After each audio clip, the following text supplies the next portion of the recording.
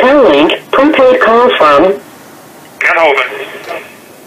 an inmate at the Santa County Sheriff's Office. This call will be recorded and monitored. Your advance pay account balance is $63.54. For customer assistance, billing inquiries, or to block future calls, dial 1-877-650-4249. To hear the cost of this call, press 8 now. To accept or press this call is subject to monitoring and recording. Do not use three-way or call waiting features during this call. Thank you for using Global Tellink. All right, thank you, brother. All right, thank you, Pastor Hovind. this question comes in from Lisa, and uh, Lisa writes, I've heard Shermer, the stupid skeptic, say several times that if trilobites, trilobites were found in the same bedding plane as hominids, then that would prove the evolution theory wrong. I'm paraphrasing except for parent, parent, parenthesis. Hasn't that been found a while back in some footprints, footprints along a river? and that's from Lisa. Well, in their thinking, a trilobite, uh, which looks kind of like a giant pill bug or roly-poly, we would call them, uh, lived 600 million years ago or whatever the number is they've got for it, okay? And humans didn't come till 3 million years. See, they've got this stupid geologic column where they, that's their Bible. They interpret everything in light of that dumb geologic column. So they would say humans and trilobites, fossils, are never found in the same rock layer. Okay, I, A, I don't think that's, I don't think that's true. I don't know. I think Carl Baugh has evidence of the human footprint on top of the uh, trilobite where somebody smashed one. So you can contact creationevidence.org uh, to see that. He may actually have the, the footprint itself. I think it's called the Meister print. I don't know.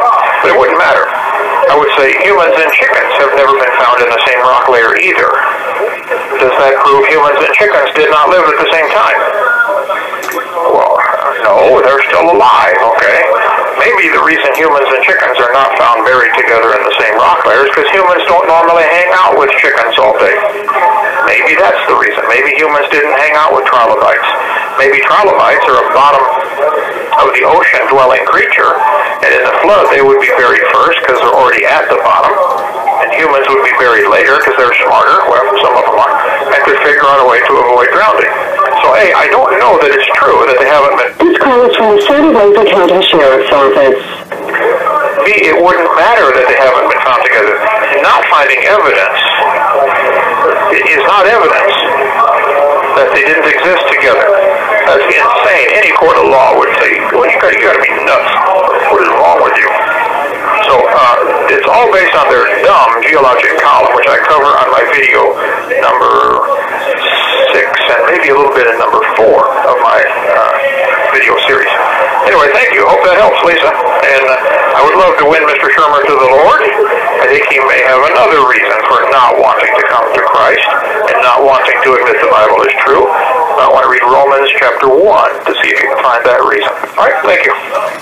All right, thank you, thank you, Pastor Hovind. Uh, the next question, um, I think you've heard before, but I'm going to take full responsibility for the lost tapes of uh, Kent Hovind, the 15-minute lost tapes.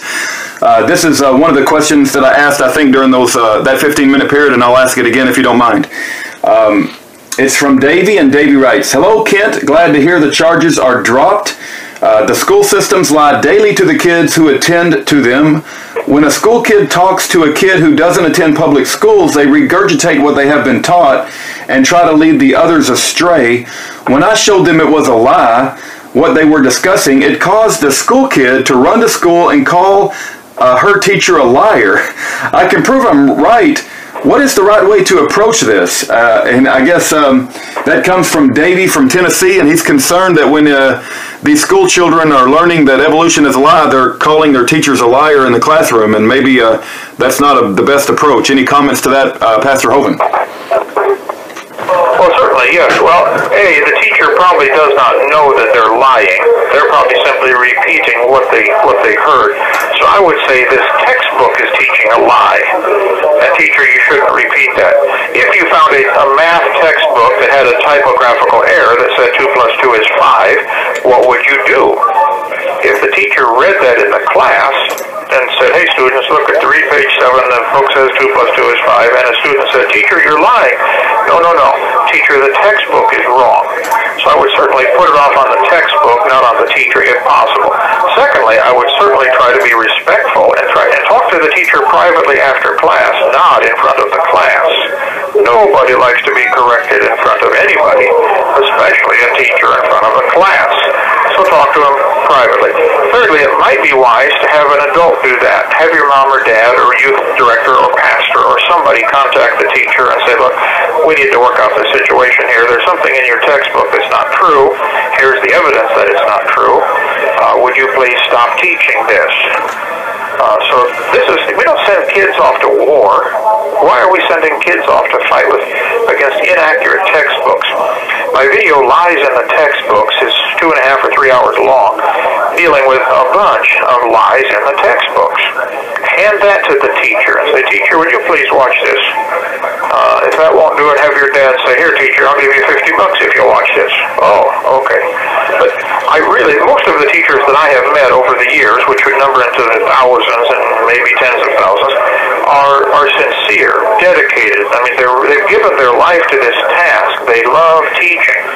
My brother helped lead me to the Lord. He taught uh, public school 34 years, and godly man, loves the Lord. His son is a pastor of a church in Cleveland, Ohio now. Um, large, successful church, Chad Hovind. He did the videotape on uh, on money that the Eric's Ministry Creation Today sells. Fabulous video on Godonomics. Great series. Anyway, so yeah, the the parents should teach the children. Don't go to don't go to class and call your teacher a liar in front of the class, certainly. but secondly, find out a way to put it off on the textbook instead. Don't don't. Uh, and if the teacher insists, no, this is true, it might be time for the parents to get involved, or the school board, or the or Congress, or president, or you know God. Take it up as high as you want to go, but don't allow lies to be taught. I'm not saying overlook it. But I'm saying it's not a tactful approach to call the teacher a liar. Now, there may be some teachers who deliberately lie to their kids because they want them to believe in evolution. Some of the debates I've had with some of the atheists, I think they are deliberately teaching things that they know are not true because they don't have any other evidence. I think it was a debate I did, I don't recall now, or maybe just a discussion Q&A after after a session, it might have been in Berkeley, where this uh, first person said, after I pointed out some of the lies in the textbooks, that this ought to be taken out. Don't teach about the embryo having gill slits, or the geologic column having any common sense at all to it. I went through a bunch of the lies in the textbooks, and this person said, well, if you take all of this stuff out, what are you going to replace it with? And I said, you have got to be kidding. You're saying, I have successfully proven that the evidences you use for your religion of evolution are incorrect. Rather than remove them, I have to find a replacement. I have to find evidence for your religion before we can take out a lie? You have got to be kidding. Just, if you don't have any evidence for your religion, I'm sorry. Maybe you should consider getting a new religion. But no, I'm not going to go around finding evidence for your religion. I think your religion is dumb. But wow, you're welcome to believe it. But you're not welcome to lie about it, to pass that off to the next generation at my expense. Go start a private school where they teach evolution and everybody pays to come learn it if they want to, but get it out of the public school. That is my humble, very humble, very totally unbiased opinion. All right, thank you. All right, thank you, Pastor Hovind. I think I've got two more, and we will have uh, covered all the one, all the ones that we lost. um, uh, the next question. Okay, sounds great, Rip. All right, very good. The next question comes from uh, Patrick, and Patrick writes. Uh, dear sir, please thank Dr. Hovind for answering my previous question about homosexuality. I was so happy that Dr. Hovind took the time to help me. I have another question involving going to heaven. If there was a child or adult who had never had a chance to know Christ, but lived a good life according to Christian standards, when they die, do they still go to heaven? Kind regards, Patrick. Well, thank you. Uh, if if it was possible to go to heaven by living a good life, then of course they would go. However, it's not possible to go to heaven by living a good life. First of all, nobody lives a good life. Read Romans chapter 3, starting with about verse 10, all the way to the end. There is nobody good. Even what we as humans would consider good is not considered good by God's standards. So nobody lives a good life. Secondly, that's not how you go to heaven anyway. Being good won't do it. It's like hanging from a length of chain off the edge of a cliff. You only have to break one link to fall, and it can be any one of the links. Maybe they've never broken 99% of the links, but only one of them. They've only broken one law. And by man's standards, we would say, wow, that's a good person. Well, they're still going to fall. And God is going to judge every single sin. If you, if you murdered one person, Patrick, and went to court and used the excuse, Judge, I only murdered one person. There are thousands of people I have known that I did not murder and did not even think of murdering. Would you please put my good against my bad? They would laugh at you. Okay, Patrick, we will not punish you for the good you've done. We will only punish you for the bad, and you would get punished accordingly. So there isn't anybody who's even a little child now, there may be a provision, as we've talked about before, as we see with the situation with David and Bathsheba when their baby died. The only verse I'm aware of that deals with the subject at all. David is talking about this baby that had died, and he said, uh, I cannot bring him back to me, but I shall go to him. First Samuel, whatever it is, near the end of, I'd have to look it up anyway. So, uh, that, but you go to heaven because of what Jesus has done. It's because of his righteousness.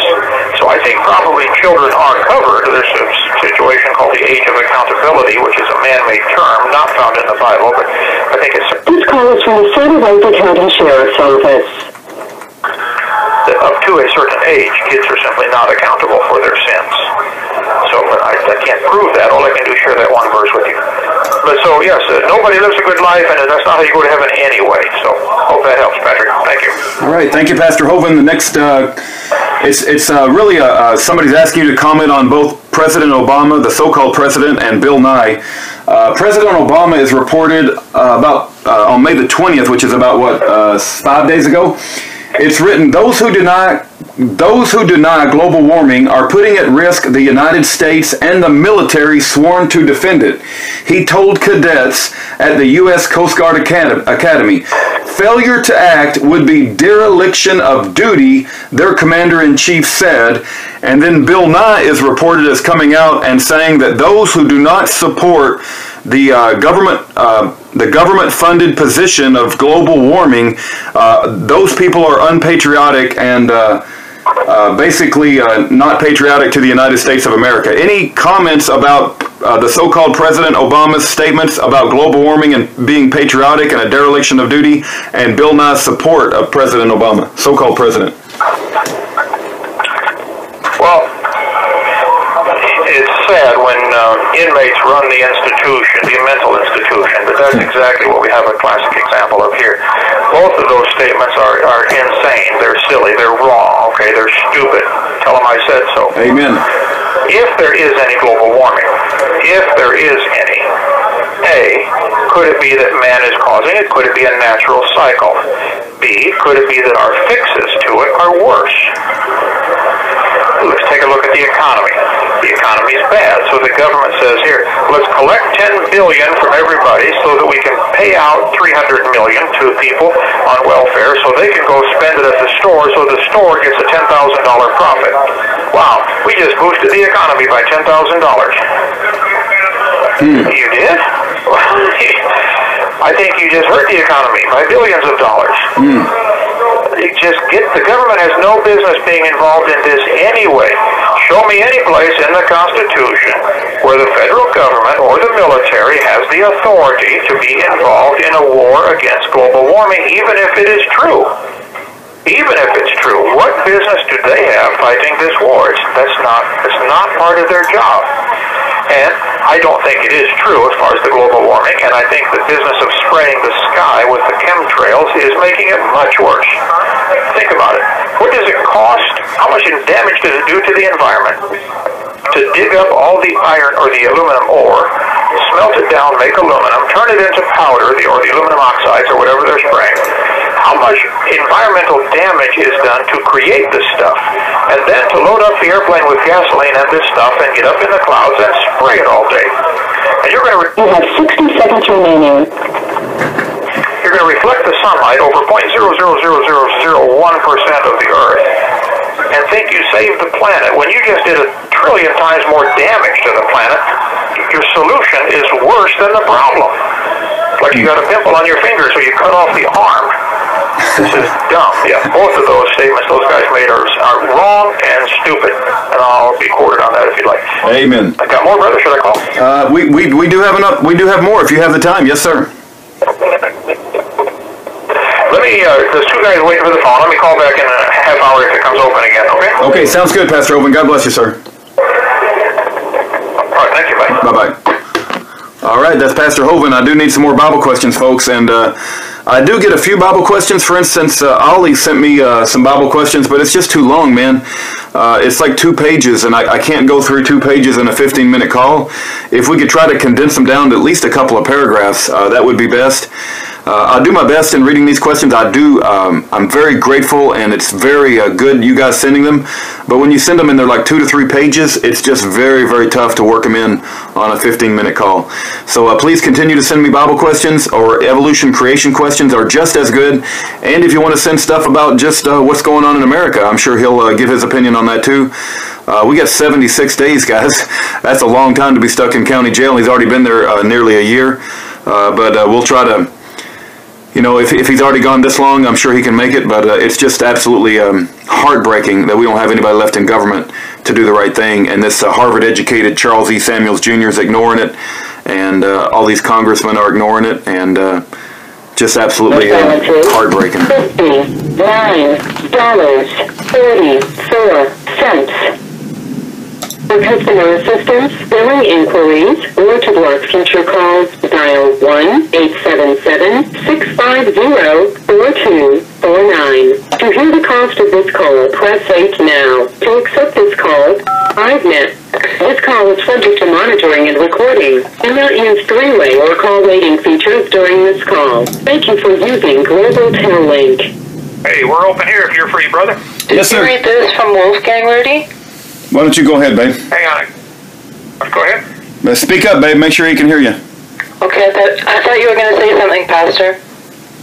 No, no, I'm fine. Okay, um, uh, Racer wanted me to read you this. It says, Hello, Kent Hovind. I'm Wolfgang. I'm 15 years old and I live in Ontario, Canada, and I've started watching your videos around sometime in January. And it has revived my faith in Lord Jesus Christ, and I want to thank you for that greatly. My question for you is regarding the Ken Ham and Bill Nye debate. I'm wondering if you might be willing, if you would be given the chance to debate Bill Nye, and with your debate skills, I know anyone that's not willingly ignorant will realize the truth. I sure did. I believed the whole story on evolution, but God led me to your videos, and I have changed my life a lot in the last few months, but still have some work to do. Thank you. Hope you get out soon. God bless. Well, thank you, uh, Wolfgang. Appreciate that. I'm glad to hear it's made a change and spread them around. Uh, I did make quite a few comments on the Bill Nye Ken Ham debate. Uh, what I read the transcript of it, I believe, and made some comments on one of the previous programs months ago. The answer to your question is yes, absolutely. I'd be thrilled and honored to debate Bill Nye. I think he's a very intelligent man and extremely wrong in what he believes on this dumb evolution religion. Um, that's putting it kindly. Okay?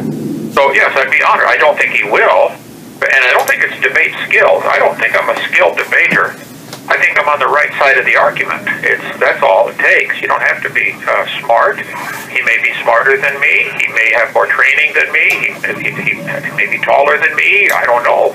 Doesn't matter. On this topic, he's wrong. I'm right. God created the world in six days, about 6,000 years ago. It was destroyed by a flood 4,400 years ago. All of the known scientific evidence I'm aware of supports that position. No human alive today is old enough to have seen either the creation or the flood. So we have to go by either historical evidence or scientific evidence, like looking at uh, the tracks in the sand or fingerprints, or there's secondary evidence. Uh, that's what we have. And all of the evidence from history or science or common sense points to a recent creation and a devastating worldwide flood. It's plain and simple. And yes, I will defend that position against Bill Nye or Einstein or anybody else.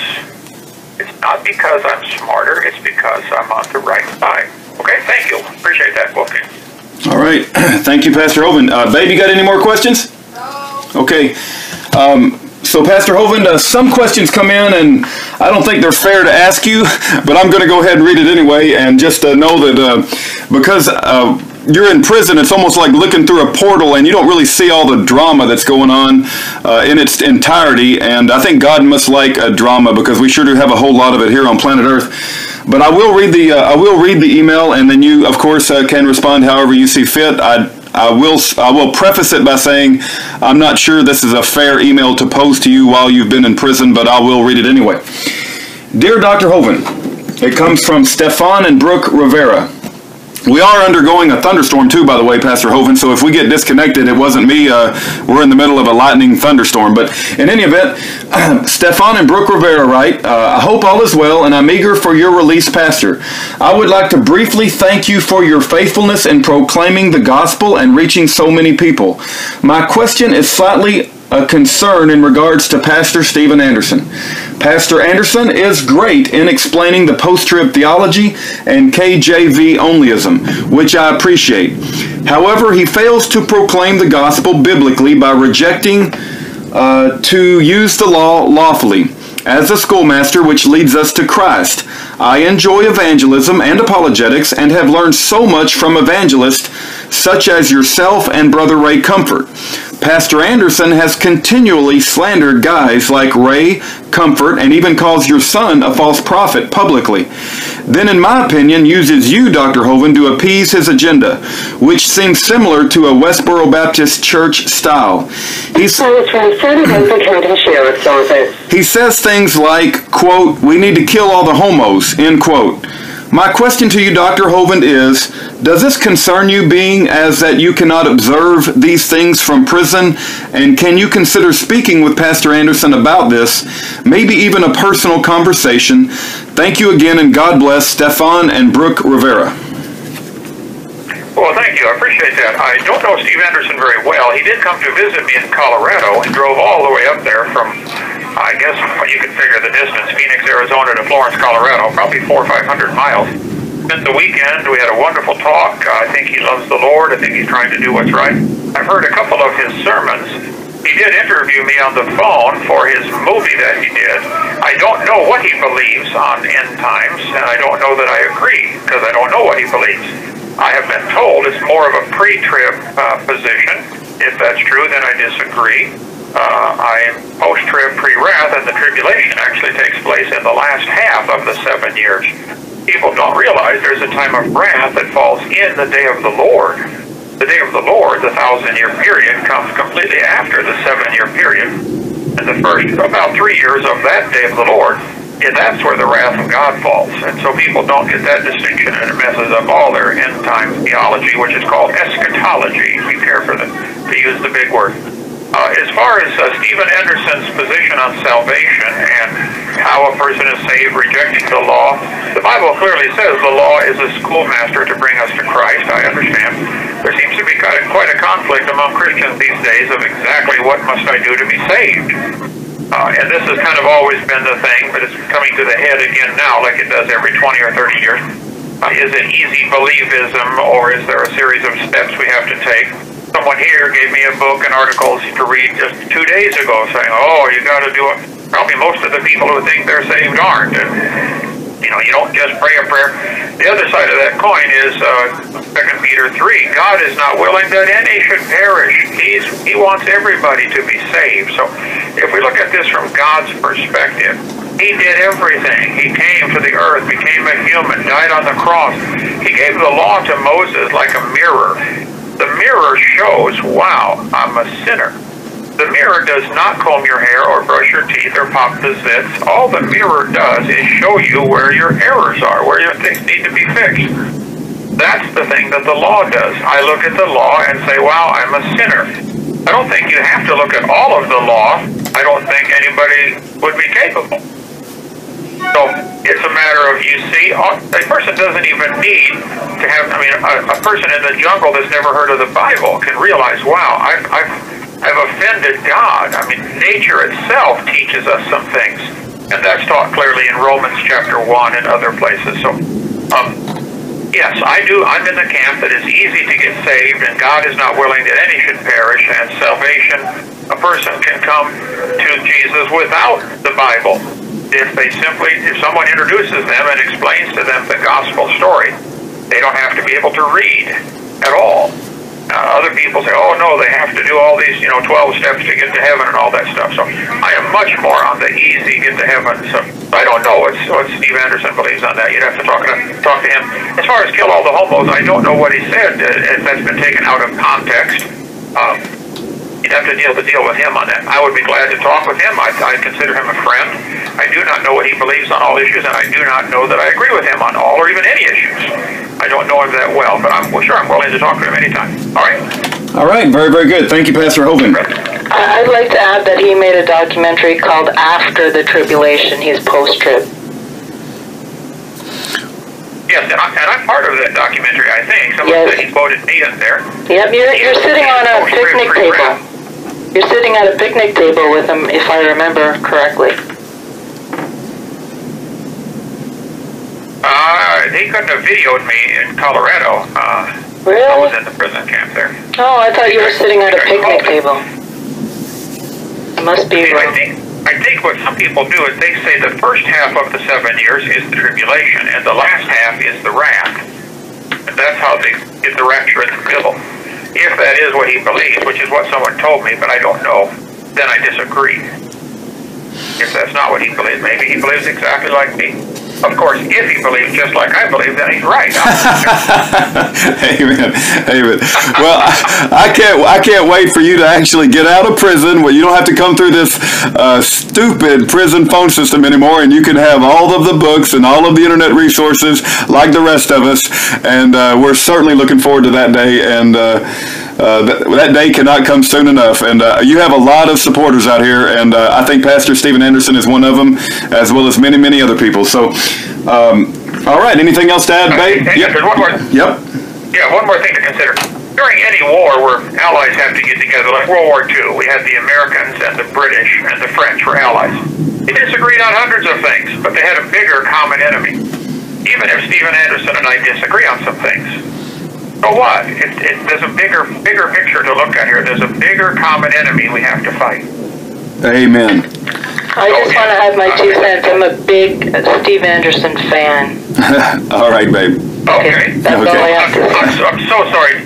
No, no, Erin, I apologize. I forgot the Canadians were also part of our allies in World War II. That's they, right. they sent, what, a tank? This call Yeah. is transmitted by the county sheriff. they sent a tank. A tank. tank and a mountie on a horse. two tanks, two tanks, an airplane, and a jeep, I believe. Oh my It goodness. helped. It helped with the war. We, Oh, Hey, my goodness. Oh, we're, I'm going to hear about that from her mother for a long time. I guarantee you. She she got upset at your blonde joke too. She got upset at your blonde joke, and I'm, I've never heard the end of that as well. So, um, all right. Well, do you, do you think God likes drama? I think God must like drama because we sure got a lot of it down here. well, he created women, obviously. He likes them. You're right. That's right. That's right. Hey, supper just came, brother. Let me call after supper and devotion. Okay. Okay, Pastor Hovind. God bless you, sir. Thank you, thank you. All right. Bye bye. All right. Well, we touch all the topics. Uh, God bless Pastor Hovind. I hope he gets out of there very, very soon. Um, it's not that we don't enjoy doing these Bible questions with him. We certainly do. But it just would be a huge blessing um, for him to be with his family, uh, get started on Dinosaur Adventureland again, and not have to come through this stupid prison telephone system. Um, and be able to, and he can experience the world in its fullness with full internet access, full phone access, call whoever he wants, whenever he wants, read any book he wants. He can't even receive books, has to eat mush, you know, starchy mush for food all the time. And um, we don't got one one person in Congress uh, or the Bureau of Prisons or anywhere with any sort, sort of uh, just integrity to do the right thing. It's absolutely insane, but uh, we will continue uh, to support our brother until he takes his first breath of freedom, and we praise God every step of the way. It's been a huge blessing, and it will continue to be a huge blessing, even if we have to go the next 76 days. I pray to God that's not the case, but uh, we ought to be able to make some whole lot of noise and shine a whole lot of light if uh, these guys uh, want to act like that. You know, they, they say that they don't want to give Kent Hovind any favors. He's not asking for any favors. He's simply asking that you give him the home confinement he was already approved. An inmate at the Santa Rosa County Sheriff's Office. This call will be recorded and monitored. Your advance pay account balance is $56.17. For customer assistance, billing inquiries, or to block future calls, dial 1-877-650-4249. To hear the cost of this call, press 8 now. To accept this call, press 5 now. On this call. This call is subject to monitoring and recording. Do not use three-way or call waiting features during this call. Thank you for using Global Tel-Link. Brother, we're open here. I hate to monopolize your time, though. Is this good? No, no, it's a good time. It's always it's always a blessing, Pastor Hovind, and we uh, we always have questions and emails. Um, Your phone is your phone is breaking up again. my, my wife, Your phone dead? yeah, my wife, uh, baby. Oh, is it better now, Pastor Hovind? Yeah, maybe if you're a little closer to it. I don't know if it's uh, got a, who knows? Yeah. Okay. Fine, yep, I hear you. Go ahead. Yeah, we, we have a thunderstorm that just came through the area, and it possibly could have messed up the phones. Um, um, there, uh, Ant- Anthony sends in an email, Pastor Hovind, and Anthony writes, Hello, Dr. Dino. I show clips of your debates to my mom, and she really enjoys them. Thank you so much. My mom wanted you. My mom wanted me to ask you this question: Why didn't God allow Moses to enter the Promised Land? Okay. well, Question. Uh, do you, are you recording, Rudy? I didn't hear you. Yeah, yes, sir. I am recording. I did not forget this time. Okay, good. Uh, God told Moses when the people were thirsty and they were complaining and griping, God told him to smite the rock. Excuse me. God told him to smite the rock at Horeb, and Moses did, and the rock split in half, and water came out and watered the people. By the way, that rock has been discovered, I believe. If you go to WyattMuseum.com, you can see it. It's huge, like 50 feet tall. Water came pouring out of there. Get the videos from uh, Ron Wyatt's uh, discoveries of this giant rock at Horeb. Anyway, so God told Moses to smite the rock. Later, I think, I don't know how many, quite a few years later, they were thirsty again, and God told Moses to speak to the rock. But rather than speak to the rock, Moses smote the rock, apparently out of anger or to show off or for whatever, we don't know what reason, but he smote the rock the second time. And God said, because of that, you don't get to go into the promised land. So it was Moses' disobedience. Certainly, the one of the many reasons might might be because this is a symbol of Jesus being the rock of ages, the rock the church is built on, not Peter. Uh, Jesus is only smitten once. He died on Calvary. He will never be smitten again. And so Moses broke what's called the typology. The Bible has a lot of stuff uh, called typology, where something stands for or represents something else. That's a whole study on itself, biblical typology. So that's why Moses did not get to go in, at least right then. Technically, he did get to go in about 1,400 years later. Moses and Elijah came down on and got to go into the promised land just for a few minutes to at least touch down and talk to Jesus on the Mount of Transfiguration. All right? Hope that helps. Thank you. All right, thank you, Pastor Hovind. Um, the next question, uh, I think, is from Chris or Kyle, or maybe it's both. I think it's the limo driver. Is the limo driver's name uh, Chris or Kyle, or is it both? I don't know. Okay. I, His name is Chris. his name is. I think my wife spoke to him. I think his name could be Chris, but he signed his uh, email Kyle, so maybe maybe he goes by both names. Um, No, you're you're breaking up real bad again, brother. oh no, is this better, Pastor Hovind? Yeah, keep your mouth real close to the speaker. Maybe that's the problem. But go ahead. Okay.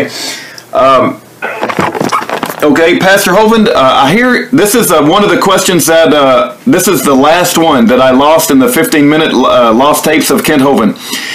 I hear you say I hear you keep saying the only laws Gentiles are subject to are those listed in Acts 15:20. And we know from 1 John 3:4 the sin of transgression uh, the sin is the transgression of the law.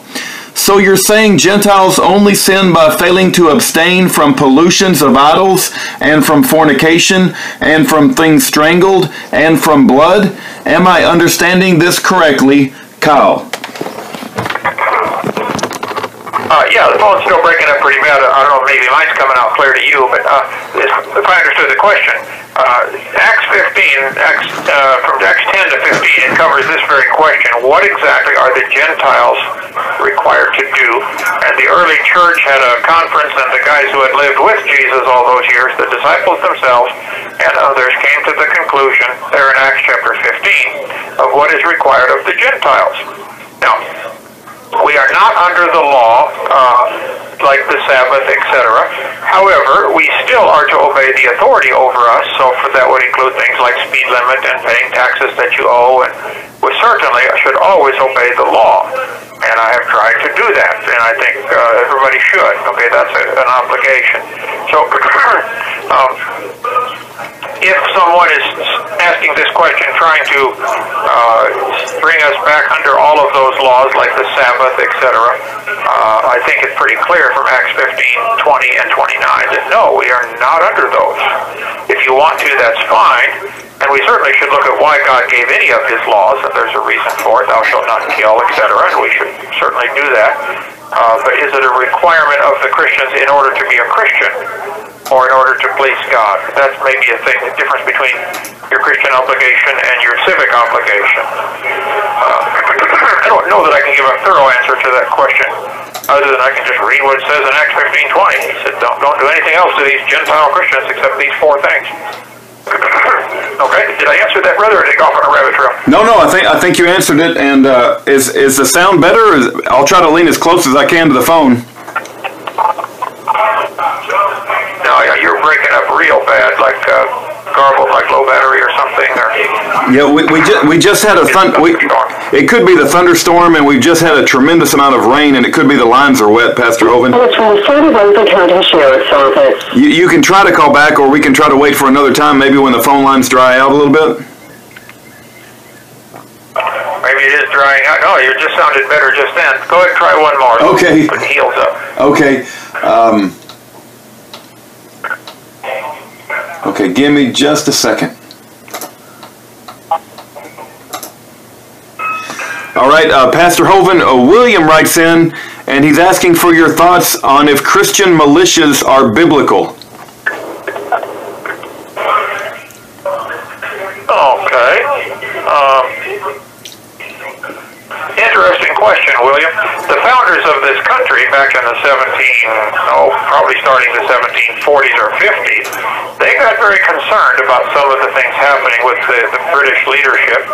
Uh, our, our first loyalty is to God. We certainly should obey Him, and we should obey those in authority over us. The question would come up exactly who is that and what authority do they have?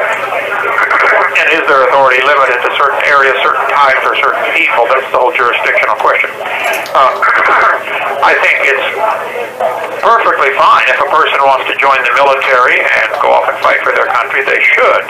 My dad did join the Marines World War II after Pearl Harbor was attacked and fought the Japanese in the Pacific Ocean for years and was the only survivor of his platoon. Uh, so I've been told. Um, my brother-in-law, my sister's uh, husband, flew a Huey helicopter, uh, flew a Huey helicopter in Vietnam. So yes, it's perfectly fine. I think I don't see any scriptural thing. Jesus said uh, soldiers should be content with their wages. He did not say they shouldn't be a soldier. Just if you're a soldier, be content with your wages. Uh, that was his commandment to them. Um, as far as the Christian militia, I guess I need to know a little more clearly exactly what you mean by that. Uh, there does come a time uh, in, in many countries where it's perfectly right to throw out the people who are, have violated the law, even if they happen to be in a position of authority. That's what the Magna Carta was about back in the 1200s. They said, King, you are not God. Let's explain it to you. That's what the Declaration of Independence was about in 1776. There does come a time, or there can come a time, when the people have to rise up and say, look, the law is supreme, not this person sitting in that chair. Which goes back to the question of uh, who's the man, not the not the institution. Who's the man that gave this order? Uh, that's what we're working on in my situation. Like, why am I still in jail a week after I was the charges were dropped and I was eligible and qualified to go to home confinement? I'd already been approved.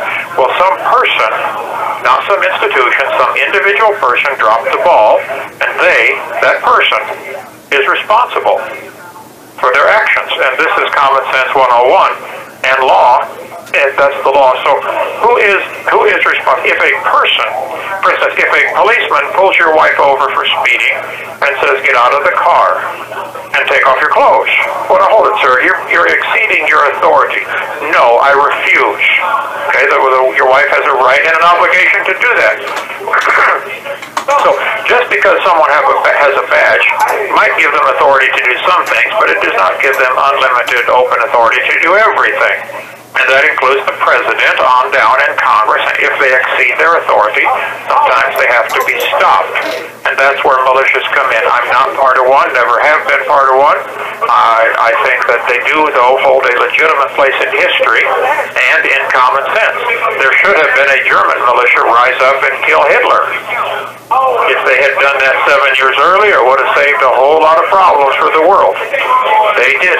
Some tried, but somebody should have risen up against Stalin way before he got uh, out of control. So all you got to do is look at dictatorships around the world, and boy, somebody should have done something sooner. We look at, uh, don't we send our troops into Afghanistan and Iraq and I, not Iran yet? Why are we sending troops to Afghanistan? Why did we take Saddam Hussein out? Was that the equivalent, or is that an analogy of a militia rising up to take out an evil leader? I think quite obviously it is. So yeah, there does come a time when that type of activity is justified. Hope that helps. Thank you. All right. Um, uh, Pastor Hovind, are you able to hear me okay? Yeah, the phone line dried out. Perfect. Uh, good, good, good. All right. Okay, here's... Uh, or, or, or maybe, maybe, hang on, maybe Scott Schneider and those that always listen to all my, hi Scott, maybe they have the problem on their end. it could be. I tell you what. There's going to be many, many. There's going to be many, many, many benefits when you get out of prison, and one of them is I expect my phone line to start working a whole lot better. But um, uh, okay. here's here's uh, here's an email from Julie, and I wanted to read this to you, sir. Uh, Julie writes, I cannot tell you, Pastor Hovind, how much I appreciate you, your work, your love for the Lord and the Lord's creation, your honor, your strength, your brilliance, your humor. I could go on. But the most humbling thing is that you are my brother in Christ, and it amazes me that I can call you that. I've been consumed with prayers for Kent, his family, Paul, the Kent's converts, the legal souls on both sides, all those involved with this website and others, the whole kit and caboodle. I admit I have some theological differences with Pastor Hovind and may submit a question later on, but right now those are the least important things to me. I have learned so much from your creation videos and debates, and not just about science and theology, but about truth, honor, steadfastness, love, grace, speaking the truth in love, and even humor. Pastor Hovind, your wit, your wit is such a blessing. Again, I could go on, but you're you're getting the point. I I was introduced to Pastor Hovind's ministry about five years ago, and I'm ashamed I didn't realize the pot of gold I had, as well as the spiritual battle that was going on. I cherish the day I will meet uh, Pastor Hovind when you are physically a free man. Spiritually, he is free already. I thank Pastor Hovind and I love you. A godly love, Mrs. Hovind. I'm not flirting with your husband, lol. God bless uh, Pastor Hovind, Julie. Well, thank you, Julie. I appreciate that. That's quite a list of compliments, brother. She said, I'm witty, I'm steadfast, honorable, brilliant, and she included in there humble. Yeah, it's extremely rare that people call... This call is from the Santa Rosa County Sheriff's Office. I don't get called that very often, usually quite the opposite. Uh, but I think once they read my book uh, that's about to come out, The World's Three Most Humble People and How I Trained the Other Two, I think maybe that will help uh, set the record straight. amen, amen, amen. I think a lot of people confuse. Um, amen, I'm kidding. All right. I, I, I, humility with, I think, they, they think they think it's pride, but it's actually just confidence. I'm confident in my God and His Word. Moses was too.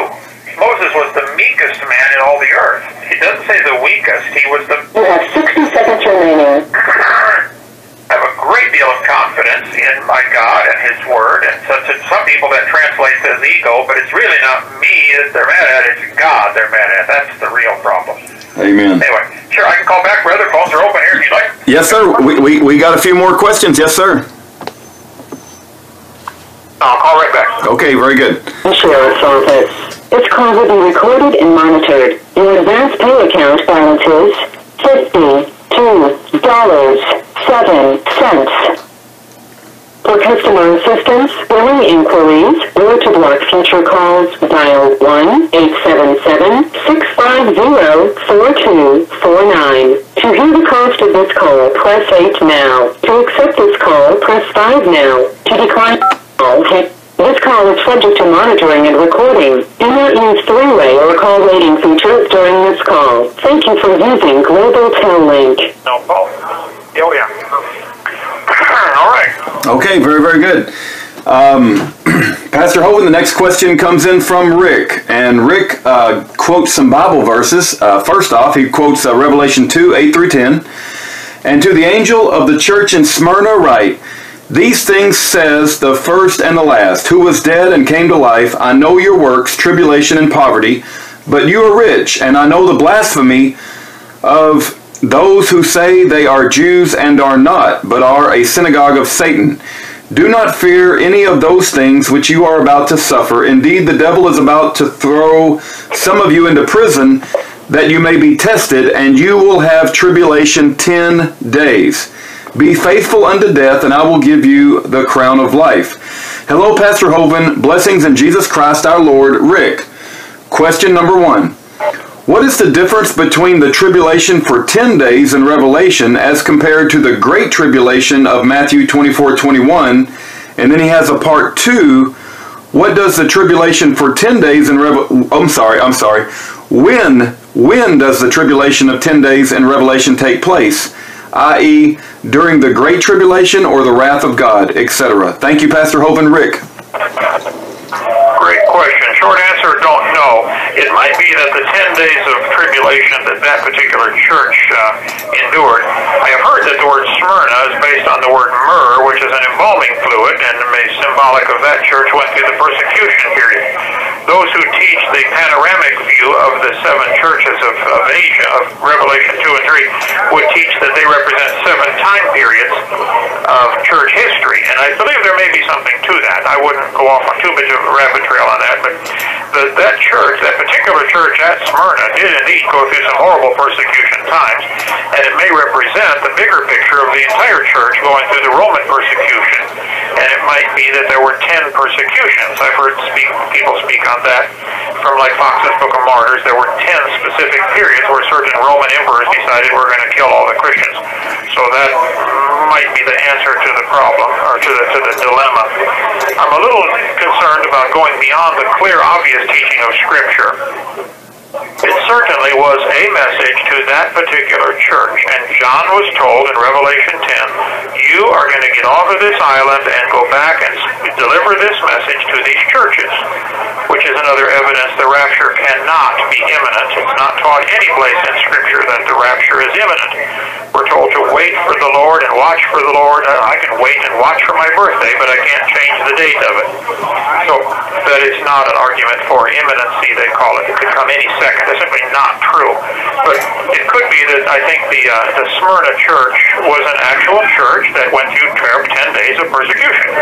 That could be the end of the story. But again, it might have a bigger picture, a symbolic meaning of something coming at the end about the coming time of tribulation or wrath. Tribulation is what the world does to us. And Jesus said in John 16, In the world ye shall have tribulation. Wrath is what God does to the world, and we are not appointed unto wrath. 1 Thessalonians 1.10 and 1 Thessalonians 5.9 and many other verses make that clear. Wrath is mentioned in the book of Revelation starting at the end of chapter 6. The, we are raptured out at Revelation 6.12 when the sun and the moon go dark. That's the rapture. I was always taught it's Revelation 4.1, you know, come up hither. That is not symbolic of the rapture. The sun and the moon go dark is the sign. The disciples asked Jesus, Lord, when are you coming and what's the sign? Matthew 24, Mark 13, Luke 21, same parallel passage there. And Jesus answered them, I'm coming after the tribulation. When the sun and the moon go dark and there's an earthquake. That's the sign. So, couldn't be more clear. Um, so, the long answer to the question, does the uh, Revelation 2 passage symbolize something coming in the future? Maybe. I don't know. Uh, there's enough other passages telling us about the future. We don't need that one that tells us there's going to come, be coming hard times on the planet. Okay, hope that helps. Thank you for the question. All right. Uh, thank you, Pastor Hovind. The next question comes in from Anonymous, and uh, Anonymous writes, There seems to be a growing number of sinkholes throughout the world. Do you have any thoughts on this and uh, uh praying for your soon release? Thank you, Pastor Hovind. Interesting. A sinkhole is where there's a cave underground, and then the surface mm, gets too thin and caves in. It sinks down into the hole, hence the name sinkhole. Um, I think they've gone all through history. It's been pretty common for these. There, there are many, many thousands of them around the world that are quite obviously sinkholes, uh, and they happen in Central Florida all the time. Uh, I think if you look at this from a biblical perspective, and Walt Brown's book, In the Beginning, uh, is fabulous. It's on creationtoday.org. My son sells it. I've sold it for years. His book is called In the Beginning. He deals a whole lot, like for 250 pages, with the geology of the earth. How that after the flood, 4,400 years ago, the earth would be covered in these thick layers of mud, and the crust of the earth would be cracked up like an eggshell.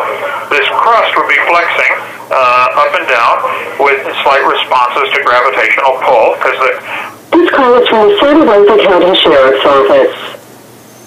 Gravity will try to pull the Earth into a perfect circle, like a raindrop falling. It tries to pull itself into a circle because of surface tension. But gravity would try to pull the Earth into a circle, but centrifugal force tries to make it bulge a little bit because of the spin, which Rudy may disagree with. But it does bulge about, uh, I think, 20 miles compared to the polar diameter. Uh, and so Walt Brown's book is fabulous on this, how these various forces would cause several things to happen on the crust of the Earth. The drying out uh, is one thing that would happen. The surface would dry out, and, the deep, the thicker that crust gets, the harder it is to dry out, because now there's water trapped underneath this, this solid crust. So let's say that the, the rate of drying is going to slow down to the point where maybe it, it simply cannot ever dry out. The water's trapped, moisture is trapped. If there's water in the rock and it happens to be limestone, the uh, if there's any acid in that rock, in the in the water, and certainly rainwater contains a slight bit of acid. It goes through decaying leaves, it becomes what's called carbonic acid, and that slight acidity to the water will uh, eat away the limestone. That's what causes caves. So it could be that this is still increasing, or still happening, because of Noah's flood 4,400 years ago. So that would be my uh, uh, short answer to that question. Okay, thank you. Very good. Thank you, Pastor Hovind. And uh, you are right. We still disagree, but that's all right. We can uh, disagree uh, while not being disagreeable. And I would also add that uh, Randall agrees with me, which I think is agreeable with the Bible, and Jerry Rose as well. So it's not just Rudy, by the way. But um, okay. Oh, I got three, three of you to straighten. well, when you get to the top of the mountain, we'll all three be waiting for you, and we'll we'll have a Texas barbecue. So, uh, all right, Pastor Hovind. Okay, sounds good. very good, very good. Okay, uh, the next question comes in from Rick, and Rick writes uh, in James 1 2 through 8, and he quotes all of the verses, although I'll just read verse 8 A double minded man is unstable in all his ways. Uh, Rick goes on to write, uh, question, what is a double-minded man? And then uh, he, he says, I'm praying for a hedge of protection around you and Paul Hansen. God bless you, Rick. Well, I think a double-minded man is in that passage, or in any passage actually, would be a person who tries to do two things at the same time. You can't decide which way to go you're driving down the road and there's a big rock in the middle of the road and you can't decide to go right or left, and so you run into the rock instead. Don't do that, okay? Do one or the other. Some, some, some decisions you can simply not make the decision, it doesn't matter, but sometimes it does matter. So it's talking about back in verse 6, 6 or verse 5, if you lack wisdom, ask God. And then verse 6 says, let him ask in faith, nothing wavering. In other words, don't, don't go back and forth between faith and doubt. Just believe or doubt. Uh, but either wavereth is like a wave of the sea, driven with the wind and tossed. Let not that man think he shall receive anything of the Lord. A double-minded man is unstable. Get a decision. Are you going to believe God or not? Um, I think, it, who was it that said, how long halt ye between two opinions? If the Lord's God, follow him. Oh, that was, uh, but if Baal is, that was Elijah in 1 Kings uh, about 6, 17, 18, somewhere in there. He builds this altar on top of the mountain and says, look, you guys have been serving this stupid God Baal long enough. Well, get, make a decision. Get in or get out. Okay, are you going to serve God or Baal? How long halt ye between two opinions? I think a lot of people do. A lot of Christians do that. They're not sure if they want to live for God or not. So they got one foot in the world and one foot on in the Bible. Well, get in or get out. Now, that's a double-minded man to in my way of thinking. Okay, hope that helps. All right. No, thank you, Pastor Hovind. Very, very, very good. Uh, the next question also comes in from Rick, and Rick quotes uh, Matthew 27, 3. It says, Then Judas, who had betrayed him, when he saw that he was condemned, repented himself and brought again the 30 pieces of... County 30 pieces of silver to the chief priest and elders. Uh, Rick's question, what is the significance and story of the 30 pieces of silver? Kent, you are a blessing to the body of Christ and are truly loved by thousands of Christians worldwide. Thank you for your strong Christian faith and encouraging testimony, Rick. And he's asking about what is the significance and story of the 30 pieces of silver? Uh, very good. Thank you, sir. I think if you go back and study the Old Testament, I'm trying to find it quickly here, I may not get it in time, you'll see that 30 pieces of silver was the price of a slave. That's what it cost to buy a slave. So he's really saying Jesus is no more value than a slave.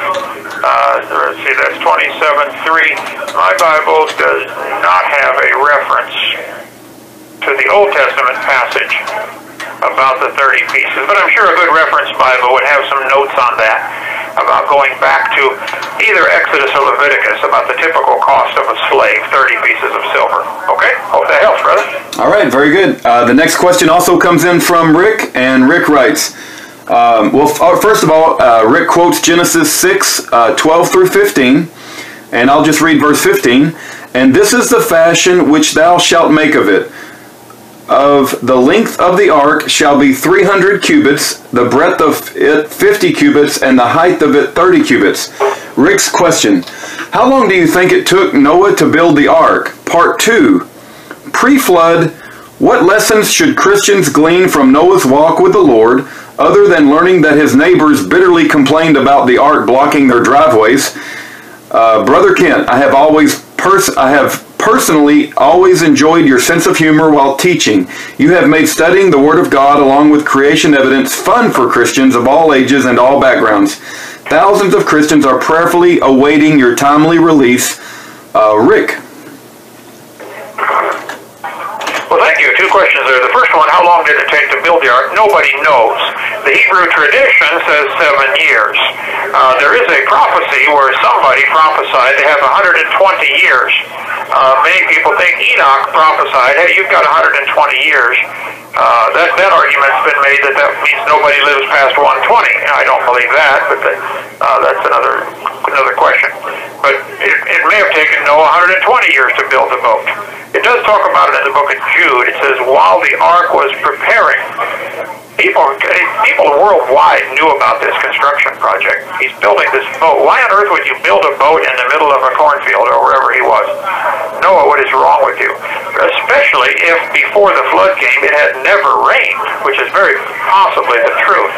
Uh, the Bible says a mist went forth and watered the ground, and it does not talk about rain until the day of the flood. It doesn't mean it didn't happen, but I believe with the canopy above, which some creationist groups do not believe there was a canopy, and of course they're wrong, I'm right.